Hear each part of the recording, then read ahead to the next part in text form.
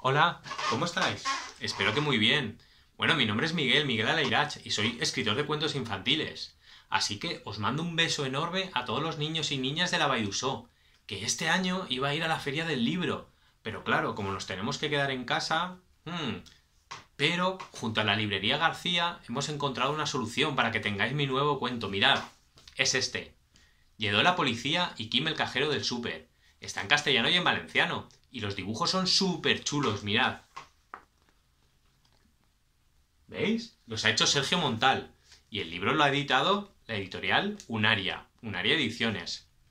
Así que os lo recomiendo. Pasad por la librería García y echadle un vistazo. Y me contáis a ver qué os parece, ¿vale? Un besito. Adiós.